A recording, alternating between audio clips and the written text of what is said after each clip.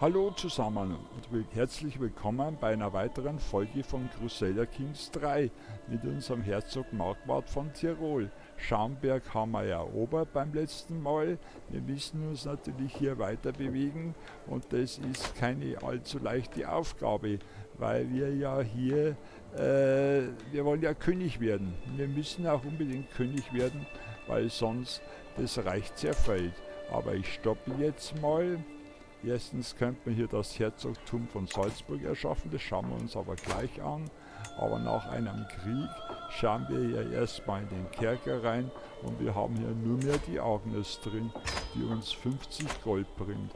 Hätte man übrigens sowieso entlassen, weil Kinder entlassen wir immer. Ohne größere, ohne größeres Brimborium. So, jetzt werden wir mal schauen, das Herzogtum von Salzburg. Äh, ob das könnte man ja dann eigentlich erschaffen. Warum nicht?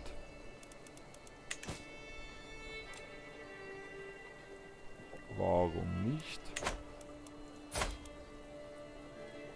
Aber trotzdem brauchen wir hier noch was anderes. Da haben wir hier ja äh, Grafen, das Spielererbe Frage ist halt für mich äh, dann, wenn ich jetzt auch denen auch was gebe, werden die dann, aber die können nicht Herzöge werden.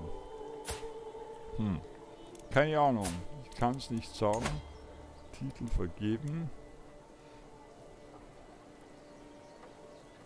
Den Reichssitz kann man natürlich nicht äh, weitergeben. Schauen wir jetzt mal der Schaumberg. Schaumberg.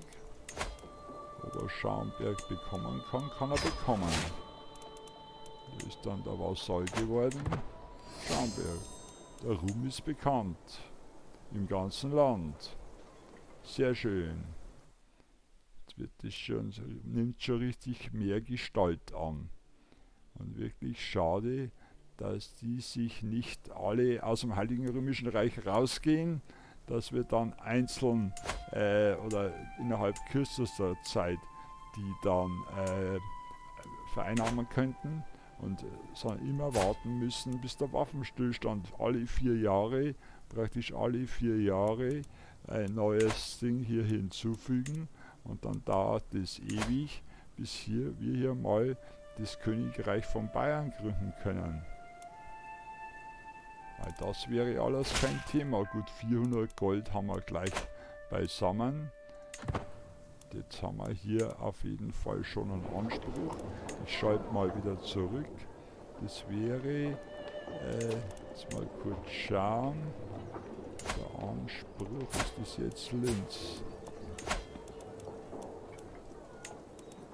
Die Schuhe.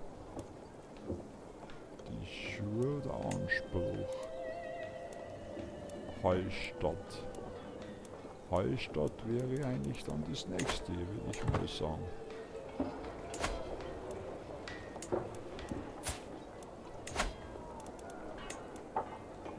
Ja, Hallstatt.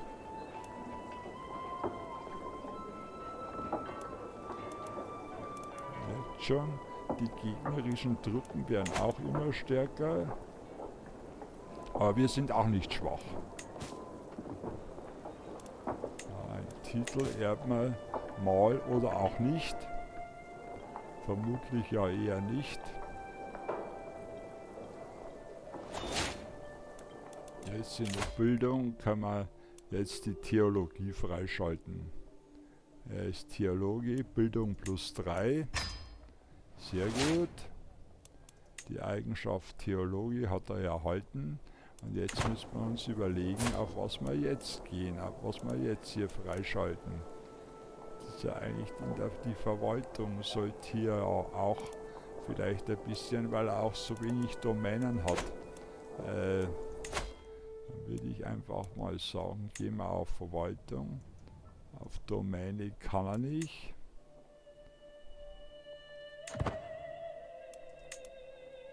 Kann er noch nicht. Weil...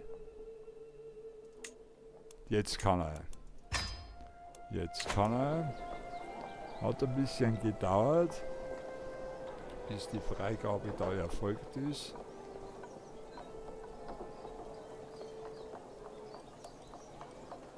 Braucht sich die Entwicklung, also das ist äh, wirklich auch die unendliche Geschichte. Man glaubt kaum, äh, dass die vier Jahre jemals rumgehen, beziehungsweise ich dachte, die vier Jahre sind schon längstens vorbei. Und es gibt in Regensburg ein schönes Festmahl, das natürlich uns ein Vergnügen sein wird. Alles ist dabei. Jetzt sind alle schon recht positiv gestimmt. Keiner ist mehr hier großartig unzufrieden, sei es auch über die Ausrutscher, die er ja hatte, als er hier mal die Ehe gebrochen hat. Und schon wieder ein Festmahl. Gibt es denn so viele Festmäler auf einmal oder war eins dann doch nicht?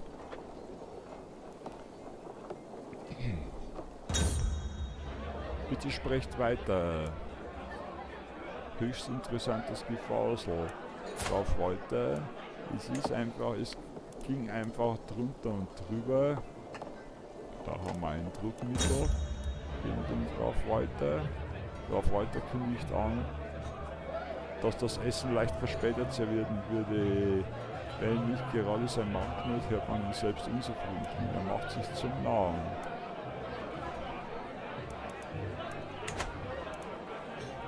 Da könnte man unsere letzte Anspannung noch abbauen. Odilo hat recht. Wo ist unser Essen? Futtern. Wir wollen hier Futter. Und den Papst können wir um Geld bitten. Der auch gern und immer mehr zahlt.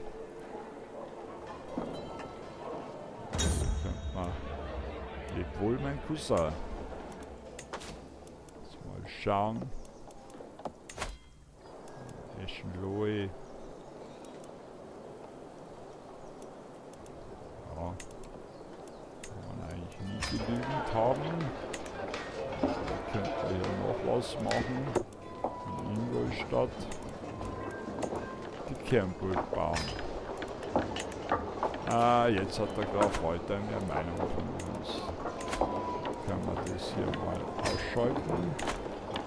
Können wir das aufgeben und wir schauen jetzt mal weiter. Beziehungen.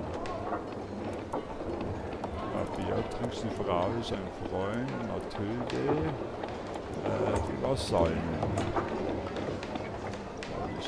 Soweit alles gut, außer der Bürgermeister. Noch ein Bürgermeister. Ja, dann werden wir doch mal, auch wenn uns das eigentlich nicht so interessiert, ehrgeizig tapfer. Er will das hier durchsetzen. Und damit so Manfredo 41 mittlerweile. Ah, die Freiheitsfraktion hat sich aufgelöst. Das ist das Beste, wenn man hier sagt, okay, es würde sich hier die andere Fraktion auflösen und wir müssen mit der Lehensautorität eins zurück. Ja gut, dann äh, sagen wir, okay, das wäre ja dann halb so wild. Aber ich würde natürlich gern oh, 1163, also erst in acht Jahren, äh, auf vier stellen. Reichsgröße 15 Grafschaften. Domänen von euch, Vasallen 9. Herzogtum von Tirol. Der Herold wird erwachsen. Äh, der Sohn. Vasall, Ritter von euch. Jawohl, und der Udo wird auch erwachsen. Ja, das waren auch waren ja Zwillinge, genau, das waren ja Zwillinge. Dann werden wir das gleich mal in Angriff nehmen und werden hier mal, sagen wir ungefähr fünf Jahre Differenz, das stimmt schon mal so. Äh, die Mechthild, was ist das? Falkenstein, Geisenhausen, ja, Ratsverwalter, vom Ratsverwalter. Ja, sind wir eigentlich, ja, wieso nicht? Können inzüchtig sein. Cousine und der Sohn. Okay. Hm. Was ist hier auch insichtig sein? Ja, die ist aber hier...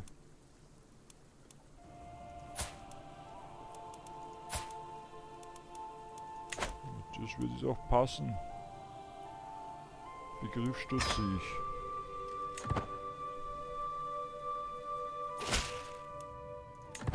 Ausgezeichnet. So, dann nehmen wir gleich den nächsten. Genau, den haben wir aus Schaumberg gegeben. Und der Udo. Ein Riese. Natürlich Zwilling, das wissen wir ja. Das wissen wir. Geisenhausen, Falkenstein, Finnland. Tja, kommt mal frisches Blut rein, würde ich sagen. Die In Inga Starkastottas waren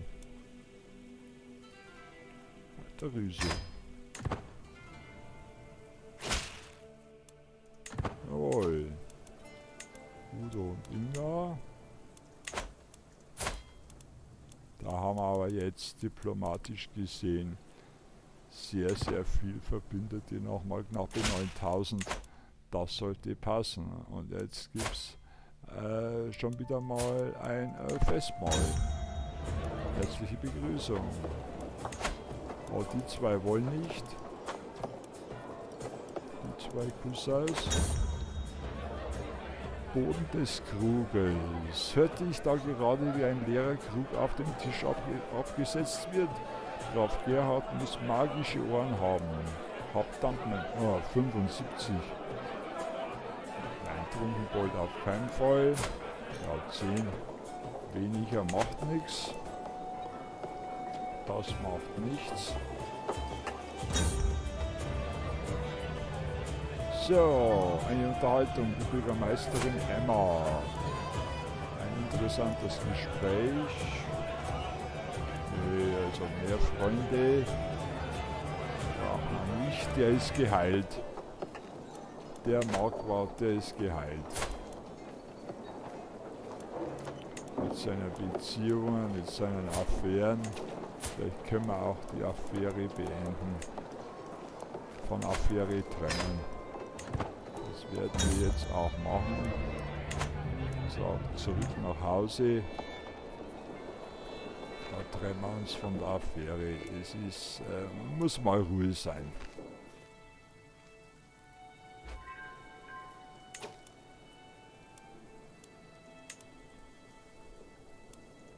Wir können ja hier mal schauen.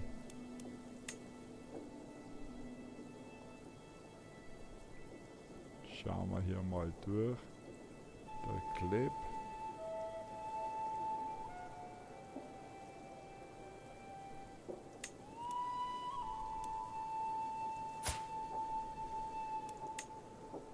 Das war die, oder? Sollten wir ja Mann suchen. Sollten wir hier ihr einen Mann suchen. Den Ruprecht, den bescheidenen Ruprecht.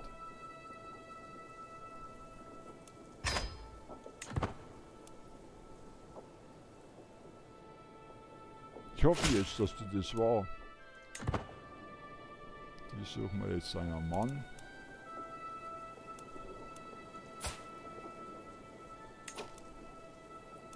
Genau, Sohn von euch. Den werden wir jetzt aber nicht legitimieren. Die wachsen jetzt in der Familie auf. Und damit ist es gut. Schauen wir nochmal hier rein. Könnt ihr die auch einmal anpinnen. Jetzt ist sie weg, die Willi Birg. Jetzt ist sie weg. Kann man die suchen? Charakter finden. Willi Birk.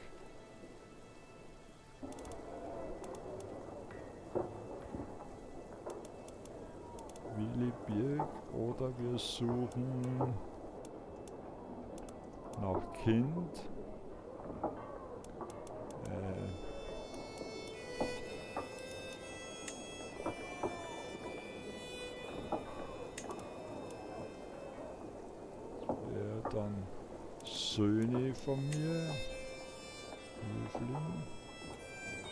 Sind jetzt weg. Äh, sind jetzt weg. Ja, ich habe gesagt, okay, gehen wir noch ein bisschen Geld mit auf dem Weg. Da ist nichts los, obwohl hier die 1 eigentlich... Hm. Seltsam.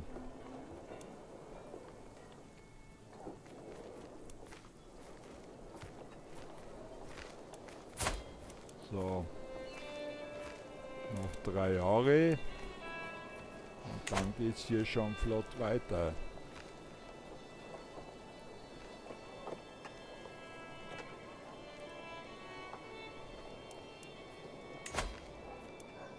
Haben wir hier keinen Arzt mehr? Doch, haben wir einen Arzt. Immer noch den Matthias. Jetzt schauen wir auch hier mal. Okay, das passt alles. Das passt alles. Alles gut. Haben wir das alles richtig gemacht. Gut für den D-Twin. Bastard. Ja.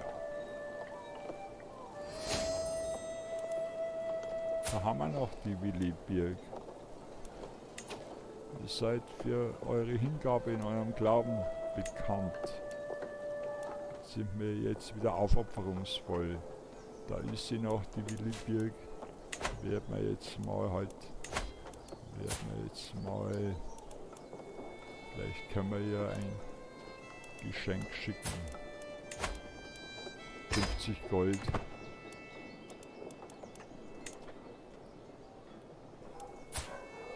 Der hat nichts und sie hat jetzt 50 Gold. Sündig. Okay.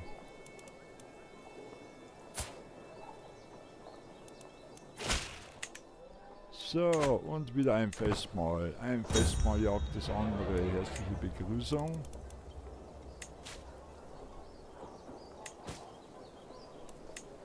Ah, das ist ja das hier wieder mit der Nachfolge. Festmahl, bitte sprecht weiter. Die Luitgard, die Cousine. Sie ist pervers. Aber das ist für uns eigentlich ziemlich uninteressant. Festmahl, eine Unterhaltung. Während Gericht auf Gericht folglich, wenn man nicht Cousine Luitgard in den Ohren. Bitte sprecht weiter. Nein, keine Beziehung. Interessantes Gespräch. So, die Übungsfelder wurden gebaut. Und jetzt geht es zurück nach Hause. Also es ist eigentlich alles sehr harmonisch, alles wunderbar soweit. Und hier könnte man jetzt mal Schamburg auch die Kontrolle mehr reinbringen. Ansonsten gibt es eigentlich nichts, was hier wäre. Die mächtigen Vasallen sind hier alle drin. Und tja, das ist gut. Und wir haben noch jetzt zwei Jahre zu warten. Und dann können wir hier nach Hallstatt uns bewegen. Und zwischenzeitlich könnte man auch mal links den Anspruch fingieren, weil unser Bischof ist ja nicht gerade der Allerschnellste. So, wo wandern denn die hin? Die Verlobten können heiraten. Haben auch geheiratet. So.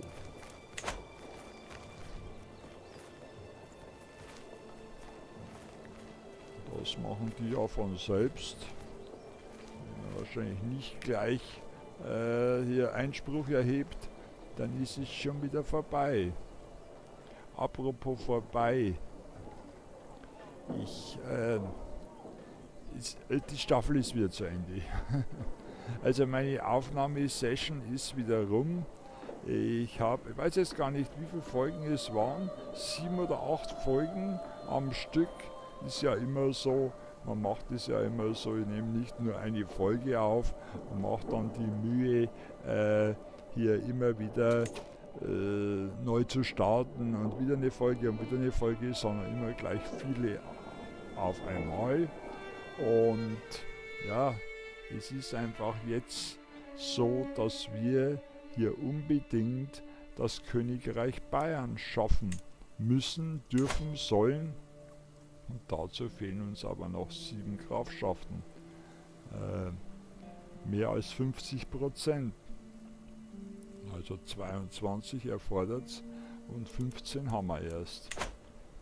Dadurch müssen wir natürlich wieder weiterhin aktiv werden.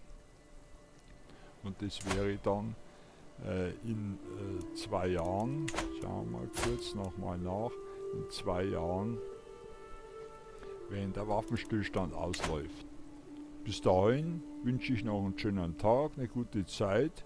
Die nächste Folge kommt und dann sehen wir weiter, was hier unser Marquardt von Tirol so treibt.